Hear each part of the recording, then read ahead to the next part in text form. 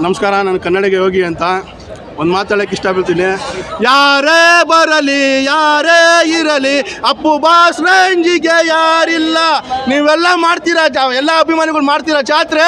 Appu boss ಅಭಿಮಾನಿಗಳು ಮಾಡೋದಲ್ಲ ಚರಿತ್ರೆ. ಇಪ್ಪತ್ತೆಂಟಿಗೆ ವೆಯ್ಟ್ ಮಾಡ್ತಾರೆ ನೀವು ಏನೇ ಮಾಡಿದ್ರು ಸರಿ, ಏನೇ ಬಿಟ್ಟರು ಸರಿ, ಅದಕ್ಕೊಂದು ಕಳೆ ಕೊಡೋದು ಅಂತಂದರೆ ರಾಜವಂಶದ ಅಭಿಮಾನಿಗಳು. ನಾವು ಮಾಡೋ, ಜಾತ್ರೆ ಮಾಡೋಕ್ಕೆ ಕಾಯ್ತಾ ಇದ್ದೀವಿ ನಮ್ಮ ಗಂಧದ ಸಿನಿಮಾ ಟ್ರೈಲರ್ ನೋಡೋ ಒಂದು ಸತಿ ಎಲ್ಲ ಮೂರು ಸತಿ ನೋಡ್ದು, ತುಂಬ ಅದ್ಭುತವಾಗಿ ಮೂಡಿ ಬಂದಿದೆ.